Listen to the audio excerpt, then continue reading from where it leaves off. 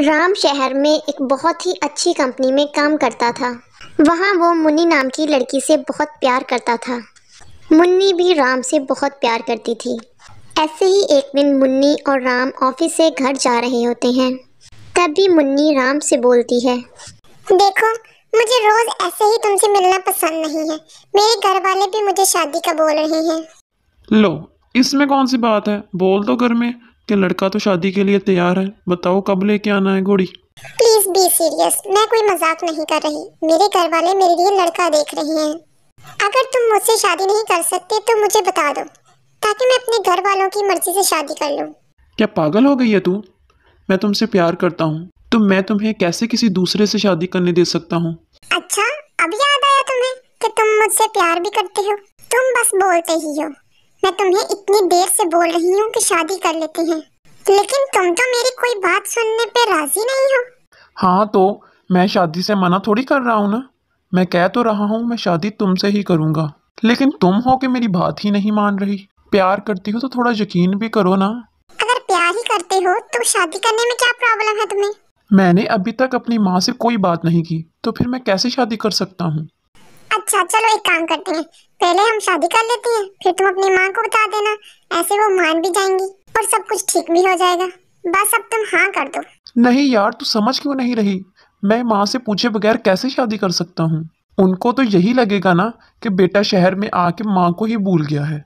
वैसे भी ऐसे अच्छा नहीं लगता कि पहले शादी कर लूँ फिर माँ को बता दूँ कि मैंने शादी कर ली है। तुम्हें मुझसे शादी करनी होगी। अगर तुमने मुझसे शादी ना की ना तो मैं खुद को कुछ कर लूँगी। और रही बात माँ की तो उनसे बात मैं कर लूँगी। अब बस बहुत हो गया। अब तुम मुझसे शादी कर रहे हो। मुन्नी की बातें सुनकर राम शादी के लिए मान जाता है। इसी तरह मुन्नी और राम दोनों कोर्ट मैरिज कर लेते हैं। शादी के बाद काफ़ी देर तक राम अपनी माँ को कुछ नहीं बताता। ऐसे ही एक दिन राम की माँ का फ़ोन आता है और राम जल्दी जल्दी गाँव चला जाता है। गाँव जाने के बाद राम को पता चलता है कि राम की माँ उसे शादी के लिए बुला रही है। माँ ये क्या हो रहा है? आपने मेरी शादी तय कर दी और मुझे बताया तक नहीं। कम से कम पूछ तो लेती मुझसे आप। और झूठ कह के आपने गाँव भी बुला लिया मुझे। मैं तेरी माँ हूँ। तू शहर का गया? शहर का ही होके रह गया। मैंने तुम्हें बताया था ना कि तेरे बाबा ने शादी तेरी बचपन में ही तय कर दी थी। अब तू बड़ा हो गया है तो मैं उसी के साथ तेरी शादी करवा रही हूँ। माँ ये क्या बचपना है? तब मैं छोटा था आपने मेरी शादी तय कर दी। वैसे भी अब तो मेरी शादी चुप कर तू। यहाँ मैं तुझसे पूछ नहीं रही बल्कि बता रही हूँ कि तेरी शादी है। वैसे भी वो लड़की बेचारी अपाहज है और उसके बाप की तबीयत भी खराब रहती है। और अगर तू भी शादी करने से मना कर दे तो क्या बीतेगी उस लड़की पर और उसके बाप पर? लेकिन माँ बात तो सुन मेरी। वो मैंने शादी मैं तुमसे कह रही हूँ खामोश रहो और ये शादी हो गई रहेगी। बिना बात के बहस ना कर मुझसे तू। माँ मेरी बात तो सुन लो फिर तुम खुद ही शादी से मना कर दोगी तुम। नहीं मुझे तुझसे कोई बात नहीं करनी और ना ही तेरी कोई बात सुननी है और ना ही मैं शादी से मना करूँगी अब। जब तेरी शादी हो जाएगी ना तो मैं भी बहू के साथ शहर चली जाऊँगी। वहाँ हम तीनों साथ में रहेंगे यही अच्छा है अब। राम की माँ राम की शादी करवा देती है। राम बहुत बताना चाह रहा था अपनी माँ को अपनी शादी का लेकिन उसकी माँ उसकी कोई बात नहीं सुनती। इसी तरह उसकी दूसरी शादी हो जाती है। कुछ दिनों बाद राम अपनी माँ और अपनी दूसरी बीवी के साथ शहर आ जाता है। तीनों को साथ में देखकर मुन्नी बोलती है अरे राम ये क्या है? मैं तुम्हें इतनी देर से कॉल कर रही हूँ। ना तो तुम फ़ोन उठा रहे हो ना तुम खुद फ़ोन कर रहे हो ना कुछ बता के गए तुम। मैं इतनी टेंशन में थी इतने दिनों से। तुम माँ जी को भी ले आए साथ और ये तुम्हारी बहन है क्या? राम ये कौन है? और तेरी बीवी को बहन क्यों बोल रही है ये?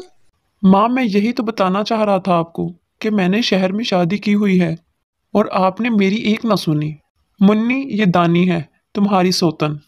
और माँ, ये मुन्नी है, मेरी पहली बीवी। क्या? सोतन? तुम मेरी सोतन ले आए हो? और वो भी अपाहज। मुन्नी, राम ने तो मुझसे शादी करके मुझ पर एहसान किया है। लेकिन मुझे नहीं पता था कि इन्होंने शहर में शादी कर ली है।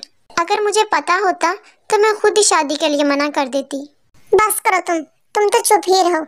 अगर तुम्हें पता भी होता ना तो तुम फिर भी शादी के लिए कभी मना ना करती। अगर इतना अच्छा लड़का मिल रहा हो वो भी अपाहज होने के बाद भी तो फिर क्यों तुम शादी से इनकार करोगी? मुझे पता है आपको बहुत बुरा लग रहा है लेकिन हम एक फैमिली की तरह भी तो रह सकते हैं ना अब। अब किस बात का गुस्सा करना? अब हम दोनों के शोहर तो एक ही है ना। ये है वो लड़की जिसे तूने मुझे बताए बगैर ही शादी कर ली। कितनी नकचिड़ी है ये तो। मुन्नी को अपनी सौतन देखकर बहुत गुस्सा आता है। लेकिन वो अपनी सास की वजह से साथ रहने से मना नहीं कर पाती। लेकिन आए दिन मुन्नी दानी को अपाहज होने के ताने देती रहती थी। लेकिन दानी उसकी कोई बात का बुरा नहीं मानती। दानी मुन्नी से बहुत ज़्यादा समझदार थी। इसलिए वो कभी लड़ाई को बढ़ाती नहीं थी, बल्कि चुप हो जाती थी। कुछ दिनों बाद दानी सोफे पे बैठी होती है कि मुन्नी उससे बोलती है, तुम यहाँ आराम पर मार रही हो? वहाँ किचन इतना गंदा पड़ा है। वो कौन साफ़ करेगा अब? मैं अभी खाना बना के आई हूँ और खड़े खड़े मेरे पाँव में दर्द होने लगा है। अभी कुछ देर आराम करूँगी और थोड़ी देर में कर दूँगी मैं साफ़। या तुम खुद साफ़ कर दो मैं बाकी का काम कर देती हूँ। अरे कैसी अपाहज सोतन ले आया है। जो कोई काम करती है न काज सारा काम तो मैं करती हूँ। किचन साफ़ करने को क्या बोल दिया तुम्हें तुम तो झूठ ही बोलने लगी। अरे आप गुस्सा क्यों इतना कर रही हैं? मैंने ही तो खाना बनाया है आपको पता ही है। जब ज़्यादा दर्द होने लगा तो मैं आके बैठ गई। अच्छा तो तुम्हारा मतलब है कि मैं अपनी अपाहज सोतन से काम करवाती रहती हूँ। बैठी रहो तुम मैं खुद ही कर लूँगी। नहीं आप बैठे। मेरे होते हुए आप क्यों काम करेंगी? अच्छा अब राम को ना बताने चली जाना कि तुमने काम किया है। अपाहज हो तो क्या हुआ? घर के काम तो कर ही सकती हो ना तुम। आप टेंशन ना ले मैं किसी को कुछ नहीं बताऊँगी। मुन्नी दानी को बार बार कोसती रहती है और उससे काम करवाती रहती है। ऐसा एक बार नहीं, बल्कि रोज रोज ही होता था। ऐसे ही एक दिन दानी के खड़े होकर काम करने की वजह से उसके पाँव में दर्द होने लगता है और वो सुबह से अपने कमरे में बंद होती है और शाम तक बाहर नहीं निकलती। सभी घर वाले उसके कमरे में जाते हैं। क्या हुआ बहू? तबीयत तो ठीक है तुम्हारी? आज सारा दिन तुम कमरे में ही बंद रही। बाहर भी नहीं आई खाना खाने भी नहीं आई। अपाहज है ना बेचारी। मेरी तरह थोड़ी है कि कहीं भी जा सकेगी। मुन्नी ये क्या बात हुई? तुम बार बार उसे ताने क्यों देती हो? इसमें उसका क्या कसूर है कि वो अपाहज है? तुम्हें तो उसका सहारा बनना चाहिए लेकिन तुम हो के सारा दिन उसको ताने देती रहती हो। देखा? अपाहज है ना मेरी सोतन। इसलिए सबको उसी का ख्याल रहता है। और मेरे बारे में तो कुछ सोचता भी नहीं है। यहाँ तुम अपाहज सोतन ले आए हो मेरे सर पर। और इसे मैंने अपना भी लिया फिर भी अगर मैं कुछ बोल दूँ तो सभी मेरे सर पर आ जाते हैं। अरे, आप सब लोग क्यों लड़ रहे हो? काम की तो बात है, मैं कर दूँगी। आप ऐसे क्यों लड़ रहे हो एक दूसरे से? देखा, अब फिर ये महान बन गई। अब सबको यही लगेगा ना कि मैं ही गलत हूँ। मुन्नी यहाँ भी सबके सामने उसको सना कर चली जाती है और किसी की बात नहीं सुनती। मुन्नी जा ही रही होती है कि अचानक उसका पाँव फिसलता है और वो गिर जाती है। डॉक्टर घर आकर उसका चेकअप करता है और बोलता है। इनके काफ़ी चोट आई है इसलिए अच्छा होगा कि इनको बेड रेस्ट पर रखा जाए। मुन्नी काफ़ी महीनों तक बेड रेस्ट पर होती है।